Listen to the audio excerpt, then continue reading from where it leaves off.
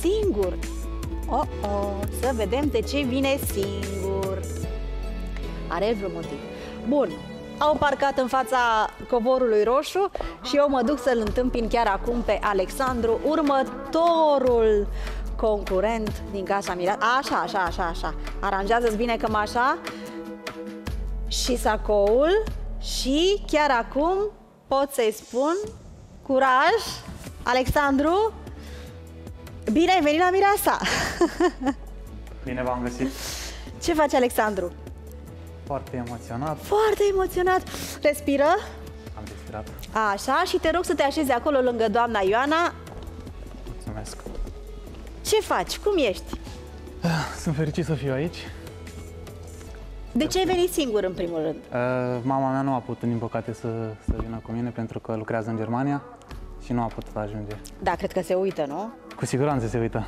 Se uită și uh, când i-ai spus că vrei să vii să te te însori, ce ți-a spus? Ia să vedem, ai uh, 25 de ani? Da? E bine. Este ok, da. Ce a spus? Te însori?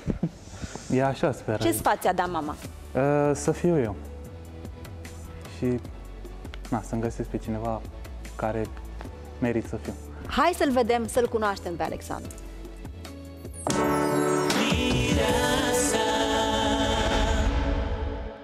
Birds flying high. You know how I feel. Mă numesc Brebenoi Alexandru Florin, din Drobeta Turnul Severin. Sun in the sky. Provin dintr-o familie simplă. You know Modestă. how I feel. Din păcate, mama mea nu a putut să vină cu mine pentru că lucrează în Germania. Cu mama am o relație foarte bună, mai mult de prietenie decât mamă-fiu. Știu cât de mult mă iubește, eu o iubesc foarte mult și mereu țin cont de părerea ei. Good. Alexandru se descrie ca fiind onest, serios și punctual, ține cont și de sfaturi, dar are încredere în propriile lui păreri. Dacă mama mea nu ar fi de acord cu relația, aș sta de vorbă cu ea și aș face să înțeleagă că fericirea mea contează cel mai mult și cu siguranță ea s-ar gândi la fericirea mea și nu cred că ar avea o problemă Iar când vine vorba de relații, Alexandru e gata să ne dezvăluie viziunea lui asupra iubirii. Sunt un bărbat uh, foarte deschis, nu sunt uh, posesiv, gelos, urăsc uh, chestia asta. Într-o relație ofer uh, libertate unei femei. Consider că o femeie trebuie să aibă libertate, să nu fie foarte sufocată. Sunt uh, o persoană foarte asumată, sinceră și cu bun simț. Viața lui sentimentală a fost în ultimii ani mai agitată, Alexandru punând capăt acum 8 luni unei relații semnificative.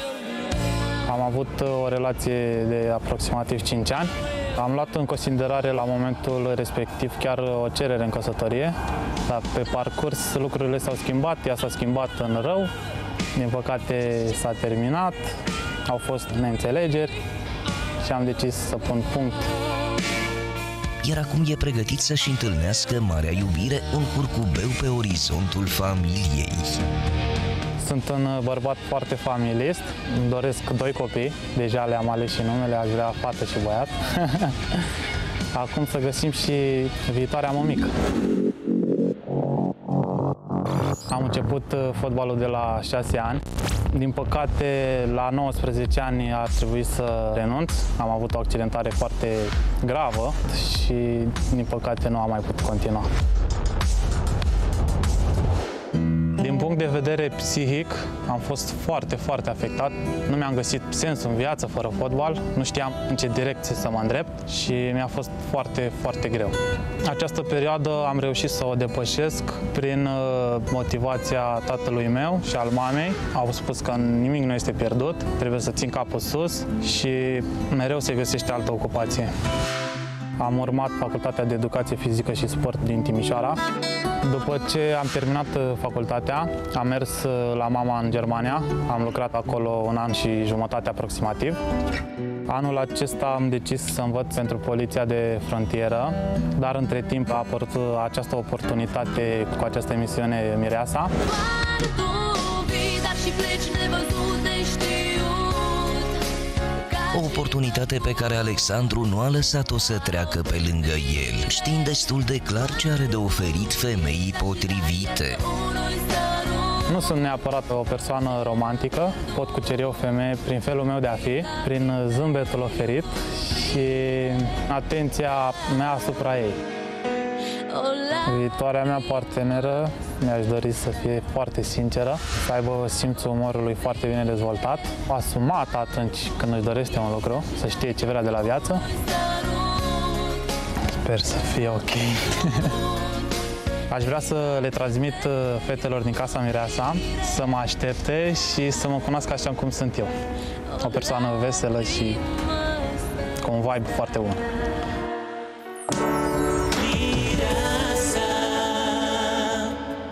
Domnule, trebuie să fie ceva apropo de participarea ta la emisiune, că tu dacă vrei să te faci polițist, cum examenul era când? Uh, chiar în toamna aceasta. În toamna asta și cum el era la emisiune, asta e, n-a fost să fie polițist, cine știe, o să ești însurat.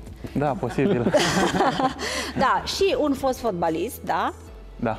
Uh, viitor polițist, deci practic tu ar trebui, uh, uh, după profesia pe care ți-o alegi, să te ocupi un pic cu ordinea, să fii, ești, ești Da, responsabil. sunt, uh, sunt disciplinat. Avem nevoie de un polițist în casa băieților, că având în vedere experiența sezoanelor trecute, se mai întâmplă ca lucrurile să o mai ia uneori pe, pe lângă făgașul normal, dar tu o să te ocupi atunci cu uh, chestia asta. Uh, N-ai venit cu mama, dar eu aș, uh, o să te rog să aștepți uh, să intre și ceilalți, uh, uh, cred că mai avem doi, doi, doi băieți și apoi uh, uh, să vedem cine o să te adopte Da. pentru uh, situațiile în care o să ai nevoie de un sfat uh, în casa mireasa. Mama ta cu siguranță te urmărește și uh, îți este cu sufletul, dar regulamentul emisiunii așa prevede ca tu să ai pe cineva, un Da. sprijin aici Da. în casă. Da. Așa că cineva o să te adopte, da? Da, mulțumesc frumos.